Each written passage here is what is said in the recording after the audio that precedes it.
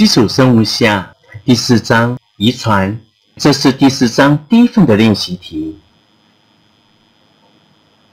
第一题，请您在实验课中进行观察洋葱根尖细胞的染色体以后，他对染色体的组成很有兴趣。他请教老师：洋葱根尖细胞的核酸中具有 ATCG 的含氮碱基是核苷酸就四种吗？老师回答：不是。请问下列何种答案是正确的？我们知道生物体的构造里面所含的核酸。包括有核糖核酸，也就是 RNA，还有去氧核糖核酸，也就是 DNA。所以在生物体内的核酸有两大类，包括 DNA 和 RNA 两大类。可是 RNA 里面所含的含氮碱基包括有 AUCG，而 DNA 所含的含氮碱基则有 ATCG。所以在 DNA 与 RNA 它们核苷酸当中，其中所含含氮碱基共同的部分有 A、C、G。可是因为 DNA 与 RNA 它们是属于核酸系列，核酸本身是一个聚合物，它是由核苷酸所组成。而由于核苷酸的构造包括了一个五碳糖，旁边接上一个含氮碱基，左边这里则接上磷酸基。这是一个核苷酸的构造，可是 DNA 的核苷酸还有 RNA 核苷酸，因为五碳糖的结构不同，DNA 里面的五碳糖是去氧核糖的构造，而 RNA 里面的五碳糖则是核糖的构造。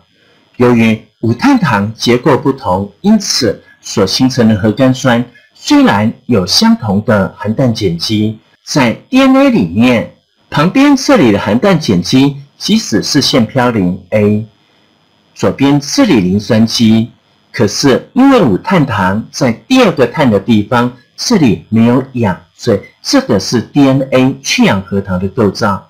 RNA 的构造，它包括了一个五碳糖，旁边这里含氮碱基，这里同样腺嘌呤，因为在第二个碳的地方，这边是含氧的核糖，所以第二个碳地方有 OH 的构造。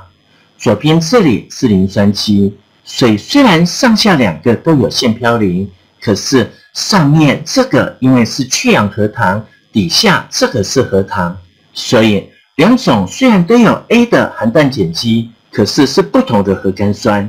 所以以此类推，DNA 含有 RNA 当中含氮碱基，我们知道有 A、T、C、G、U。含氮碱基的种类有这五种，DNA 和 RNA 都有腺嘌呤，可是 DNA 有胸腺嘧啶，两者都有胞嘧啶，两者也都有鸟嘌呤，RNA 则只有尿嘧啶。所以现在题目要问，核酸里面含有 ATCG 的核苷酸总共有几种？含 A 的核苷酸有两种。含 T 的核苷酸只有一种，含 C 的核苷酸有两种，含 G 的核苷酸有两种，所以全部加起来总共有七种核苷酸。所以第一题含有 ATCG 不同的含氮碱基所组成的核苷酸总共有七种核苷酸。所以第一题猪的答案。第二题。现有甲和乙两种品系的果蝇进行杂交，已知 A、B、C 位于三个不同的染色体上面，其 F1 子代进行自交，则以下叙述何者正确？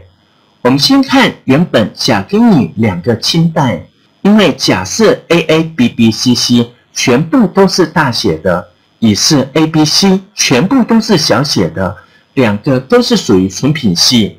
所以对甲和乙，A A B B C C 和小 a 小 a 小 b 小 b 小 c 小 c，这个我们称为亲代。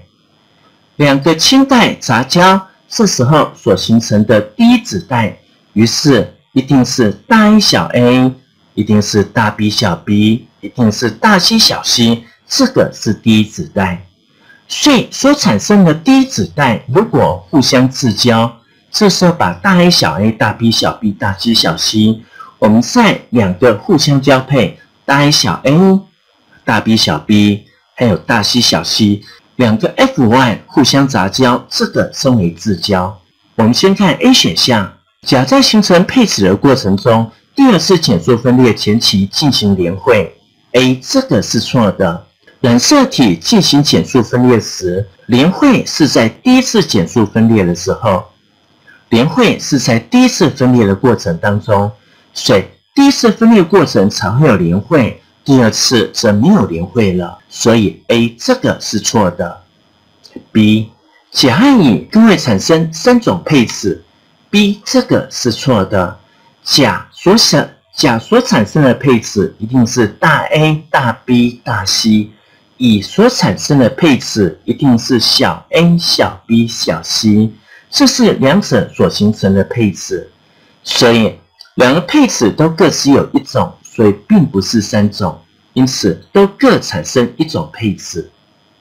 C F1 自交产生的 F2 子代里面，其基因形式总共有八种。虽然有三组不同的基因，可是每一组基因则是互相独立的。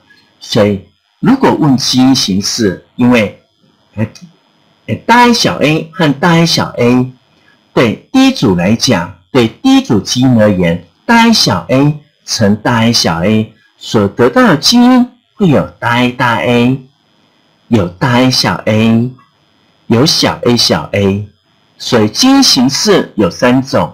因此，如果 F1 自交之后产生的 F2，这时候它的基因形式 A 的基因有三种。同样，B 的基因形式有三种，C 的基因形式有三种，所以乘起来总共有二十七种。所以它们的基因形式总共是二十七种，并不是八种。所以 C 这个是错的。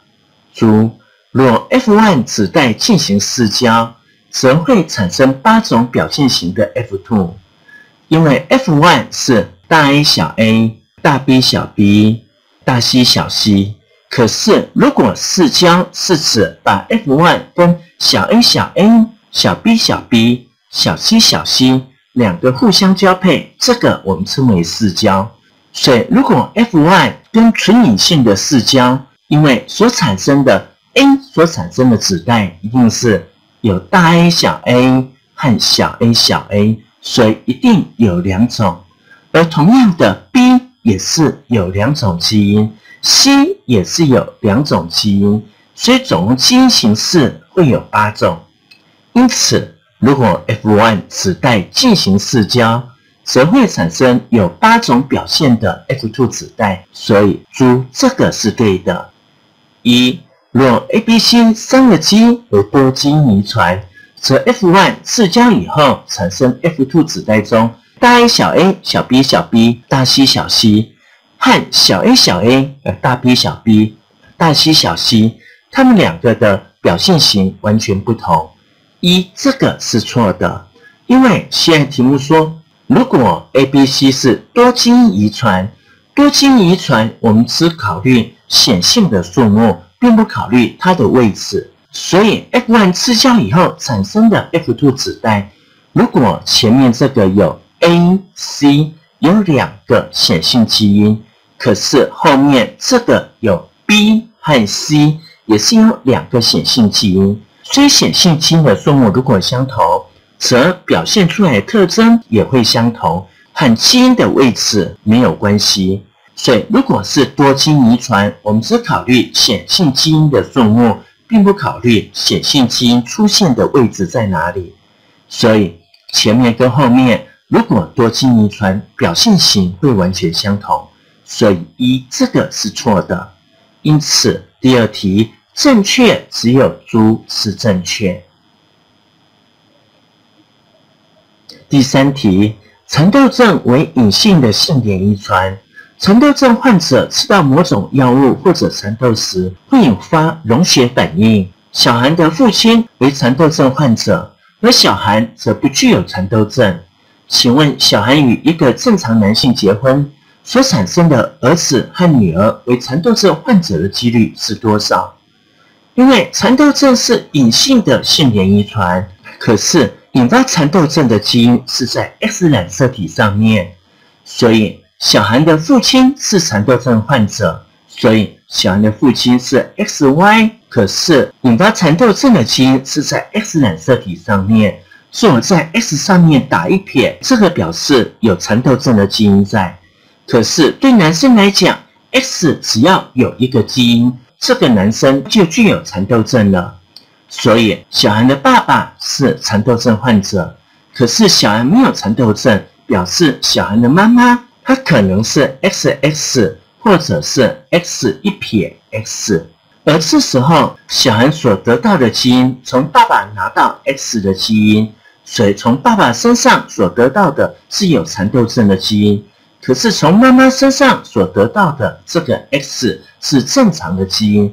所以小韩他体内有蚕豆症的隐性基因，可是小韩本身并没有引发蚕豆症，这个是小韩的基因。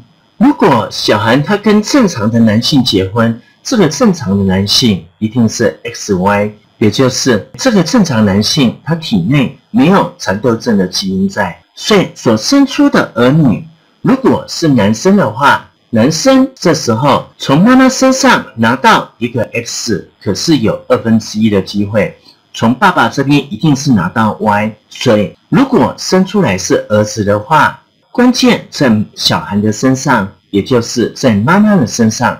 如果妈妈身上有两种不同基因，则儿子有二分之一的机会，因为有可能拿到的是 X 一撇 Y，或者 X 正常的 Y，所以有二分之一的机会可以会患有蚕豆症。可是如果女儿的话，女儿可能从妈妈身上拿到 X 一撇，可是从爸爸一定拿到正常的 X，或者。从妈妈身上拿到正常的 X，从爸爸身上拿到也是正常的 X，这时候女儿就一定没有蚕豆症了。所以小韩跟正常男性结婚，如果是儿子患有蚕豆症的几率是二分之一，可是女儿患有蚕豆症的几率则是零。所以第三题一的答案，第四题。果蝇翅膀有长翅跟短翅两种性状，而刚毛则有直毛和卷毛两种性状。已知长翅对短翅、直毛对卷毛为显性，则一对异型盒子长翅卷毛和一对异型核子短刺直毛果蝇交配产生的子代有几种基因型，有几种表现型。因为果蝇的亲代，它现在是异型核子的。长刺卷毛，长刺是显性，如有大 A 表示是长刺，而大 B 则表示是直毛，所以异型核子的长刺卷毛一定是大 A 小 a 小 b 小 b，还有另外一个异型核子的短翅直毛，因为如果短翅一定是隐性，所以是小 a 小 a，可是直毛是显性，可是。要找异型核子的，所以一定是大 B 小 b。因此，如果大 A 小 a 和小 a 小 a 所产生的基因形式，一定是大 A 小 a 比上小 a 小 a，两种比例是一比一的比例。所以，所产生的子代 A 所形成的基因有两种，可是小 b 小 b 跟大 B 小 b 所产生的基因子代也是有两种，所以。基因子代总共有四种基因子代的形式，所以基因形式有四种。可是对翅膀而言，不是长翅就是短翅；对刚毛而言，不是直毛就是卷毛。所以所形成的表现型也是有四种。因此所形成的子代基因形式有四种基因形式，而表现型也是有四种。所以第四题猪的答案。四种基因型分别是大 A 小 a、大 B 小 b，还有小 a 小 a、大 B 小 b，还有大 A 小 a、小 b 小 b，还有小 a 小 a、小 b 小 b。所以总共有这四种基因形式，这四种基因型也刚好配合四种不同的表现型。所以第四题猪的答案。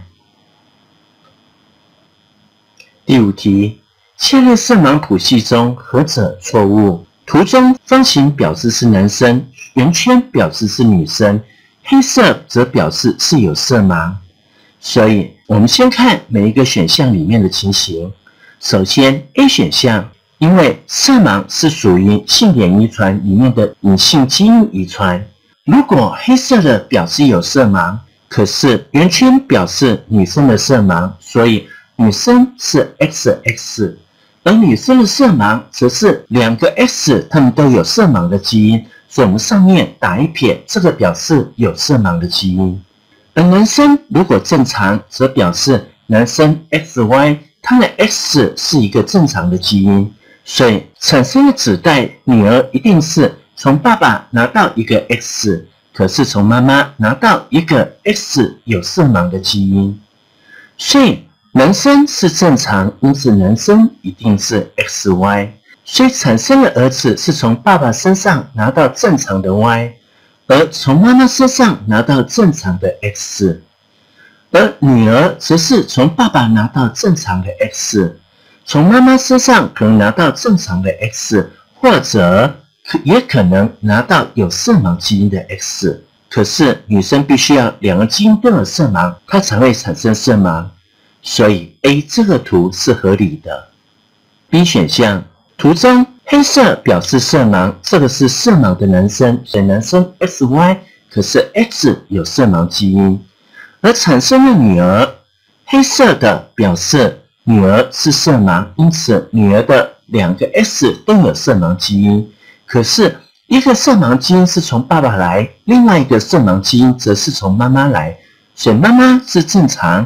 可是妈妈有一个色盲的基因在，而这个女儿和男生结婚，这个男生是正常男生，所以这个男生是正常的 XY 产生的儿子从爸爸身上拿一个 Y，从妈妈身上拿一个 X，可是是有色盲基因，而产生的女儿从爸爸身上拿正常的 X，从妈妈身上拿有色盲基因的 X，所以女儿会是正常的。所以 B 这个是合理的。C 的选项里面，儿子是有色盲基因，所以儿子 XY 可是有色盲基因，所以 X 一撇。女儿两个色盲基因都有，所以女儿是色盲。父亲是色盲，所以父亲是 XY，可是父亲有色盲基因，所以从爸爸身上拿到 Y，于是妈妈身上一定有 X 基因。可是妈妈正常，所以妈妈有一个正常的基因在，所以这个男生是正常，所以这个男生是 XY。可是女儿这边从爸爸身上拿一个正常的 X，于是从妈妈身上拿一个有色盲基因，因此这个女生有色盲基因，可是她正常，所以另外一个是正常，所以 C 这个是合理的。猪。女生有色盲，所以这个是 X 一撇，X 一撇。儿子是正常，所以儿子 XY 没有色盲的基因。因为男生是正常，男生就是 XY，可是没有色盲的基因在。所以我们看女儿这边，女儿有女儿有一个是爸爸的基因，可是女儿两个基因都有色盲，所以猪这个图是不合理的。因为女儿如果色盲，一个基因一定是爸爸的，另外一个基因则是妈妈的，所以妈妈是有一个色盲基因，可是妈妈正常，所以妈妈是 X 一撇 X，所以错的是这一个，应该要把它涂黑，所以猪这个是不对的。一女儿色盲，所以女儿是 X 一撇 X 一撇。父亲这边色盲，所以父亲这里是 XY，可是 X 有色盲基因，所以女儿是色盲，一个色盲基因是爸爸的，另外一个色盲基因是妈妈的，所以妈妈正常，所以妈妈 XX，可是有一个色盲的基因在，所以产生的儿子从爸爸身上拿 Y，可是从妈妈身上拿到正常的 X，而这个女生正常，可是母亲这边。有色盲，所以母亲这里是 X 一撇 X 一撇，而男生则是 XY，它是一个正常的基因，所以这个女生她是从爸爸拿到正常的 X，可是从妈妈拿到有色盲的 X，所以一这个图这是合理的，因此第五题有错的只有猪，这个是有错误的。第六题，甲利用限制酶对载体进行切割，乙感染至宿主细胞；丙利用限制酶切割出目标基因；丁目标基因与载体结合。上述从甲到丁为基因转殖的过程中的步骤，下列关于此过程的叙述何者正确？A. 甲和丙可以任意使用不同的限制酶切割 DNA。A. 这个是错的。因为用限制酶切割目标基因跟载体，需要使用相同的限制酶，而不是用不同的限制酶，所以 A 这个是错的。B 载体可以使用 DNA 或 RNA，B 这个是错的。我们选择载体一定是要用 DNA，不是用 RNA，所以 B 这个不对。C 正确的操作步骤为甲丙丁乙的步骤，C 这个是对的。进行基因转殖的过程，首先先用限制酶先对载体进行切割，所以甲这是第一个步骤。而一般我们在选择载体的时候，我们可以用细菌的质体或者用病毒的 DNA 来进行切割。其次，我们用相同的限制酶来切割出目标基因出来，所以丙这是第二个步骤。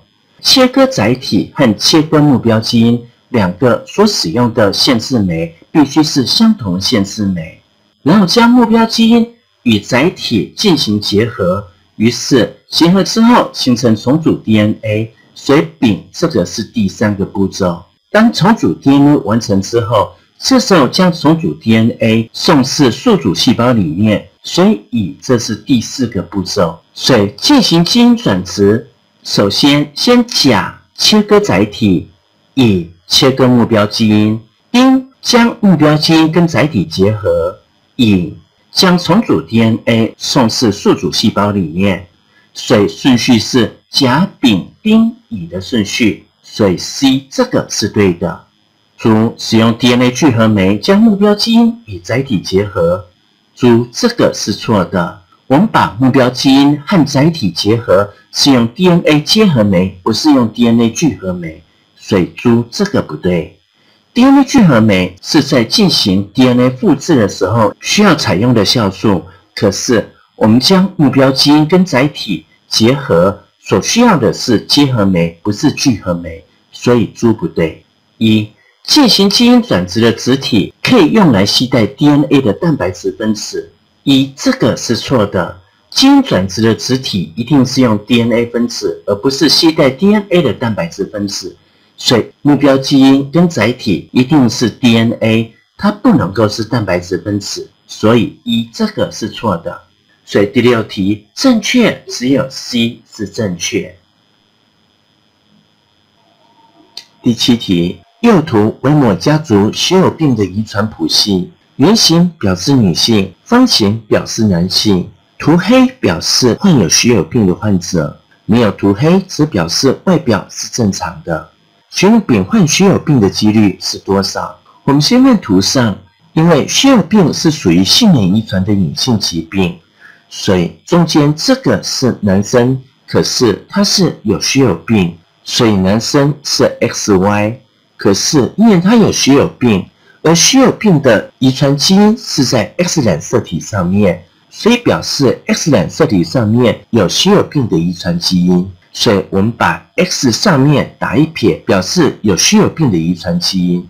所以上面父亲这一个，这个是正常的男生，因此这个男生一定是正常的 XY，而女生则是 XX。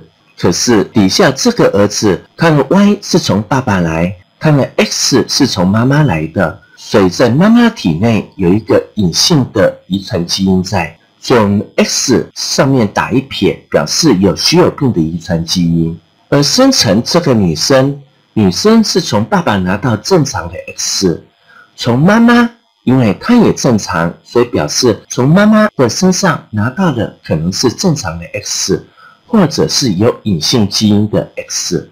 而对乙来讲，乙也是从爸爸拿到正常的 X，有可能从妈妈拿到正常的 X，或者从爸爸拿正常 X，从妈妈拿到血友病基因的 X，所以乙有血友病基因有二分之一的几率。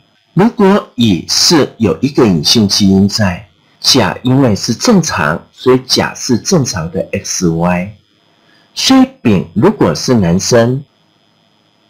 则丙从爸爸拿到正常的 Y，如果乙是有二分之一的几率，则乙可能是正常的 X，或者有血友病基因的 X。因此，丙拿到有血友病基因的几率有二分之一。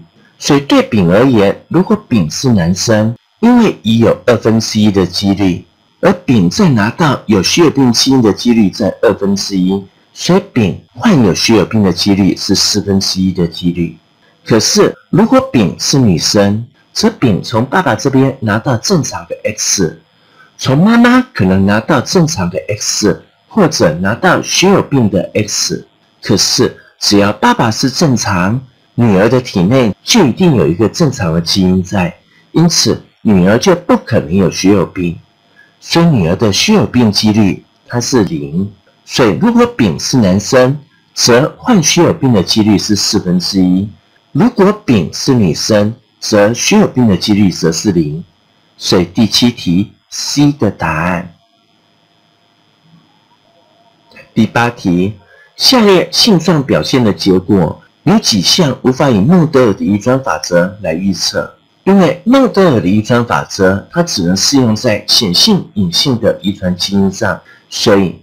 只有先隐性遗传这个适合孟德尔的遗传法则，而中间型遗传因为大 A 小 a 乘大 A 小 a 所得到的结果有大 A 大 A，有大 A 小 a，有小 a 小 a，所以产生的性状它们是一比二比一，有三种性状，所以中间型遗传它不符合孟德尔的遗传法则，而负等位基因遗传。像血型的基因小 i a i b，还有小 a 小 i，所得到的是 i a 小 i 或者 i b 小 i，因此所产生的和原来的显性隐性并不一定相同，所以负等位基因遗传也不符合孟德尔的遗传法则。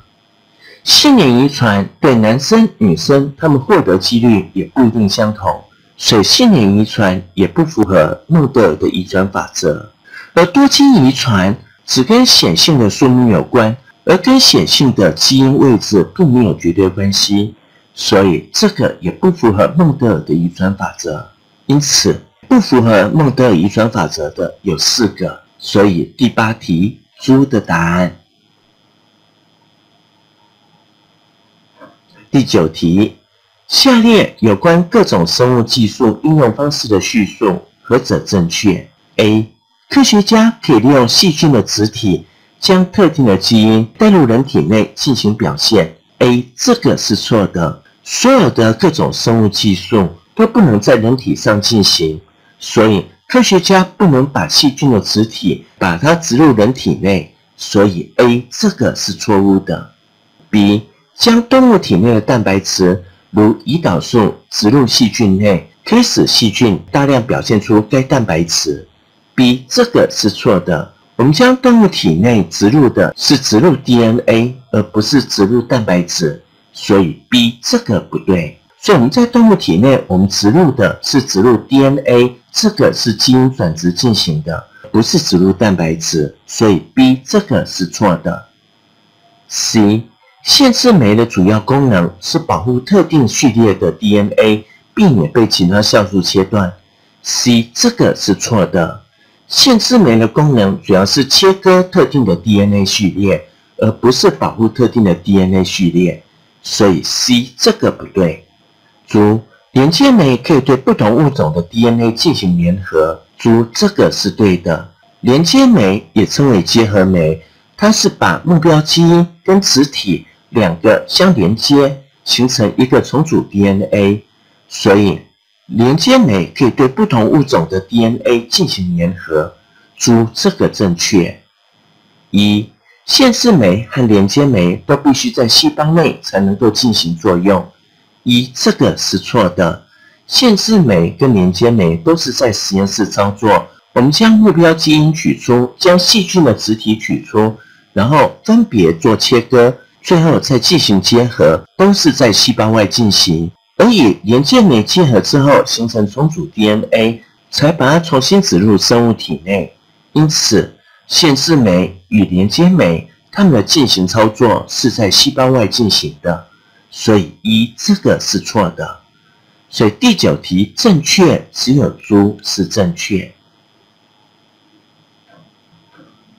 第十题，下列核酸分子的组成中，何者为单股的 DNA？因为 DNA 是属于核酸序列，它是属于去氧核糖核酸。我们根据含氮碱基的数目，我们先看 A 选项，在 A 选项里面，因为 A 有百分之三十五，T 有百分之三十五，所以我们知道 A 等于 T，C 等于 G。而且 A 跟 G 合起来，三十五加十五是百分之五十，C 和 T 合起来也是十五跟三十五百分之五十，所以表示嘌呤跟嘧啶各占一半，所以 A 这是双股的 DNA。B 因为在 B 里面有 A、G、C、U，所以表示 B 这是 RNA，可是 RNA 里面 A 占百分之三十八。U 占百分之三十五，所以 A 不等于 U，而 C 和 G 两个数目也不相等，所以 C 不等于 G，所以这个表示这是单股的 RNA。C，C 里面含氮碱基有 A、G、C、U，所以 C 也是 RNA，但是。A 有百分之三十五，U 有百分之三十五，所以 A 等于 U。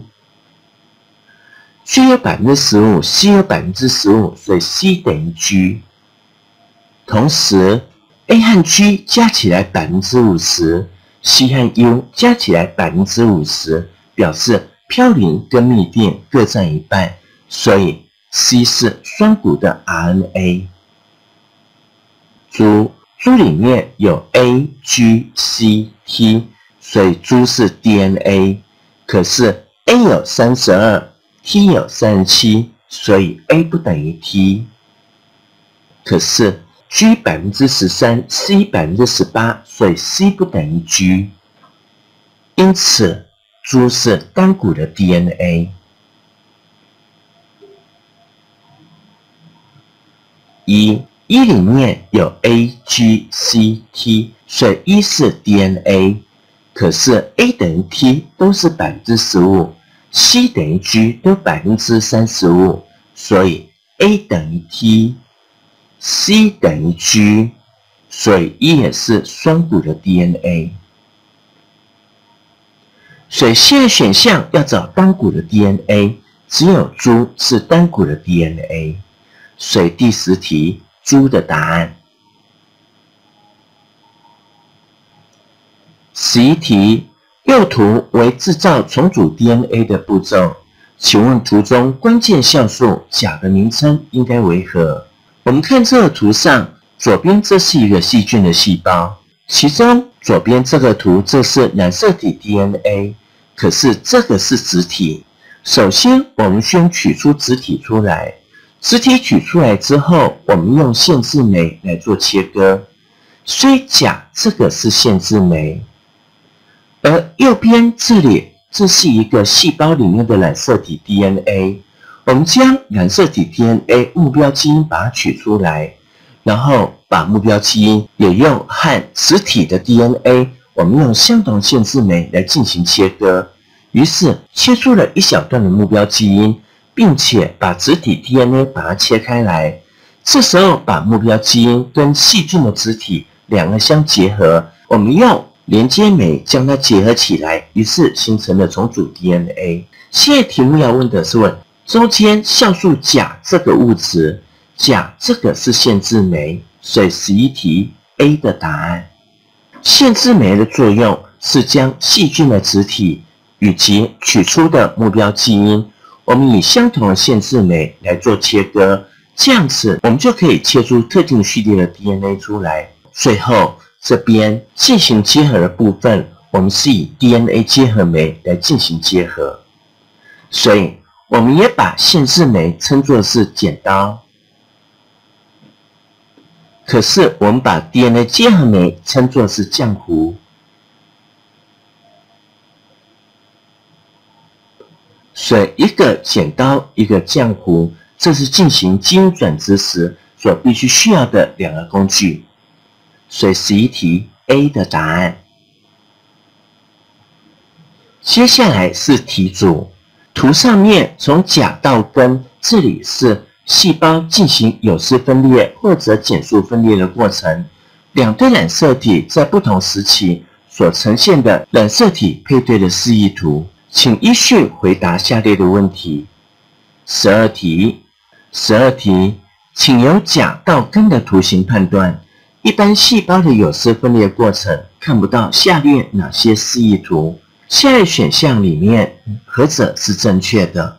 因为细胞进行有丝分裂，如果一开始是先从丙，它是两对染色体，如果我们把它编号一、二、三、四，其中一跟三是属于同源染色体。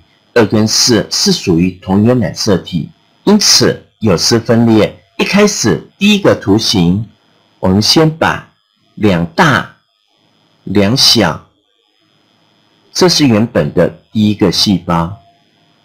可是，一开始要先进行复制，所以复制完，这时候两大两小。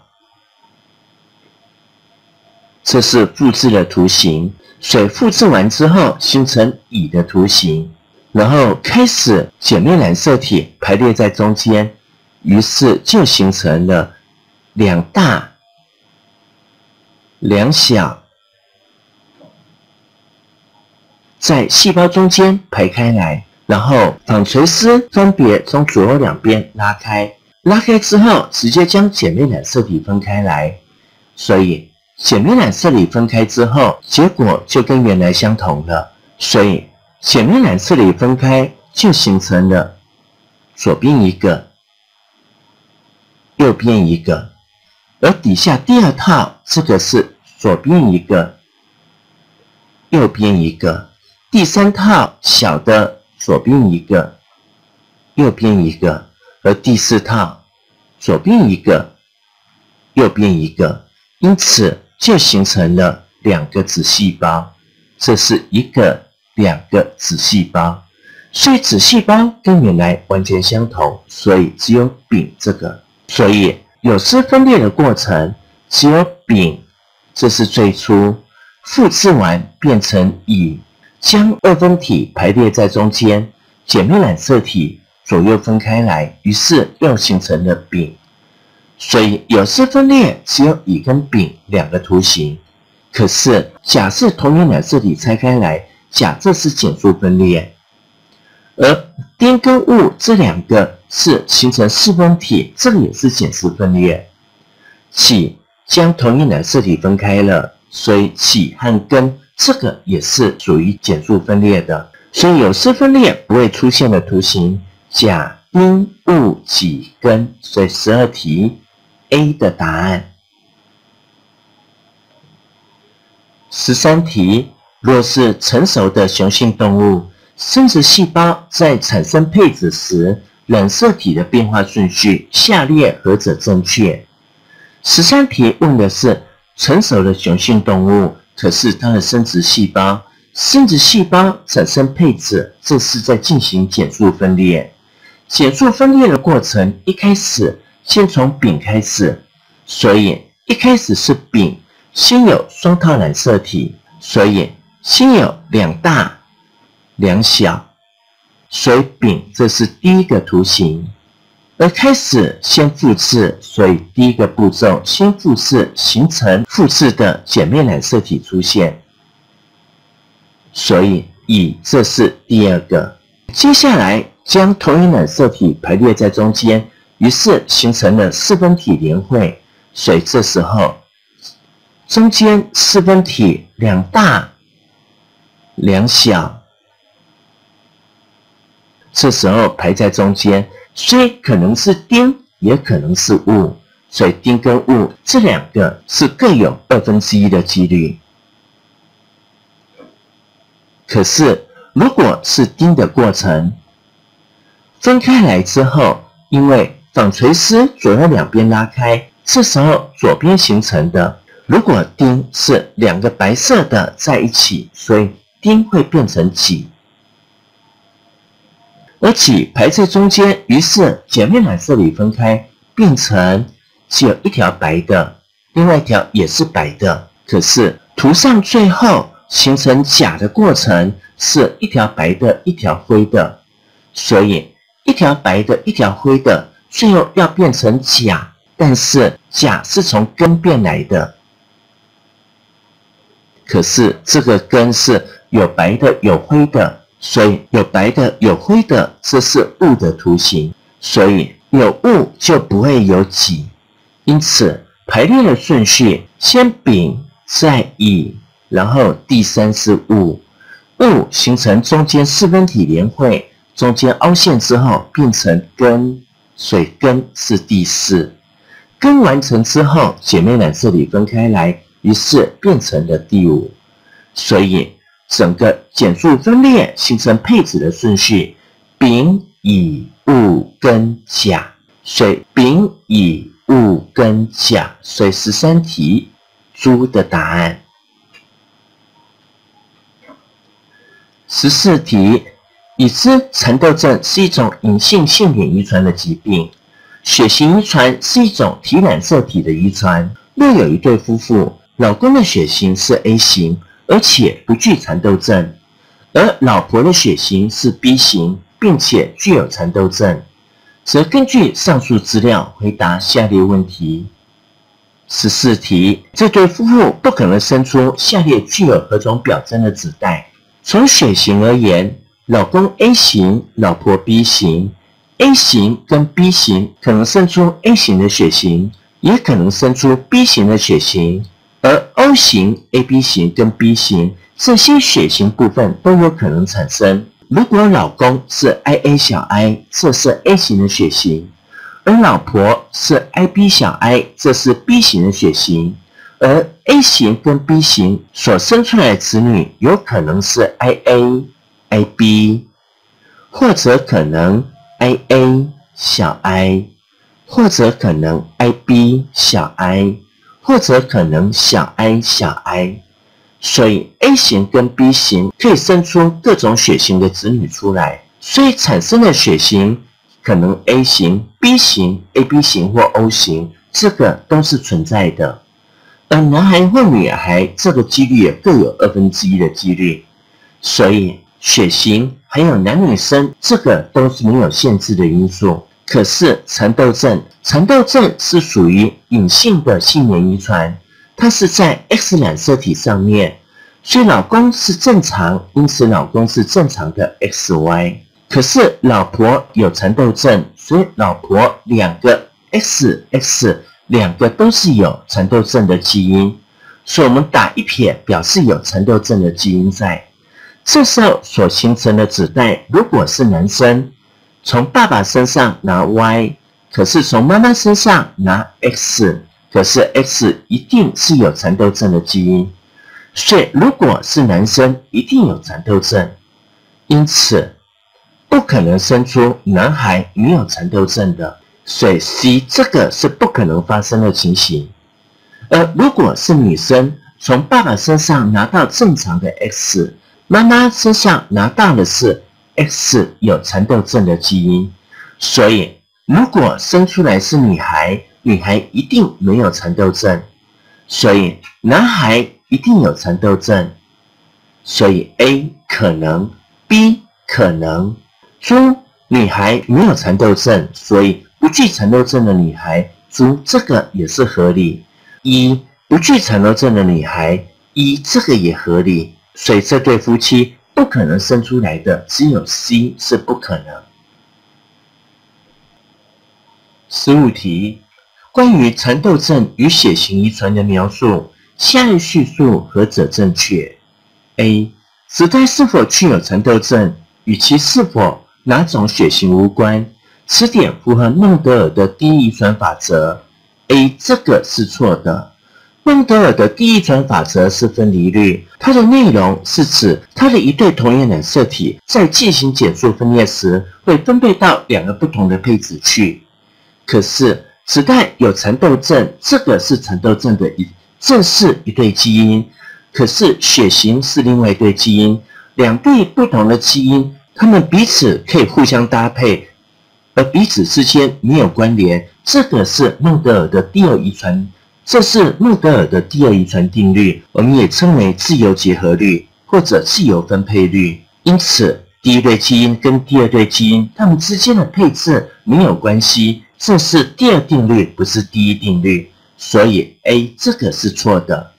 B 子代是否有蚕豆症，与其是否哪种性别无关，此点符合孟德尔的第二遗传法则。B 这个是错的，因为蚕豆症是属于性别遗传，而性别遗传与性别有关系，男生与女生他们是发生的几率不相同，所以这个和性别有关的。所以 B 这个是错的。C 若子代同时具有 IA 和 AB 血型的等位基因，则两种表征会同时表现，此种称为不完全显性。C 这个是错的。IA 跟 AB 两个都是显性基因，因此如果 IA 跟 AB 同时存在的话，两种表征会同时表现出来。这个我们称为等显性遗传，所以 C 这个是错的。猪蚕豆症的基因可能位于 Y 染色体上面，猪这个是错的，因为题目说老婆是蚕豆症患者，所以在老婆的体内没有 Y 染色体，因此它一定是在 X 染色体上面，所以猪这个是错的。一老公的血型基因可能为同型合子或异型合子，一这个是对的，因为题目只说老公的血型是 A 型，可是 A 型有可能是 IA，IA 或者 IA 小 i，所以这两种血型都是 A 型血型，所以它可能是同型合子，也有可能是异型合子，所以一这个是对的。所以十五题正确的只有一是正确。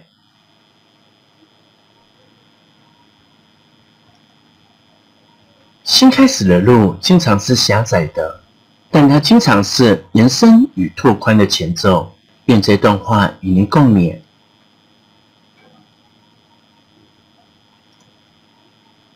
我们这个单元就到这里结束。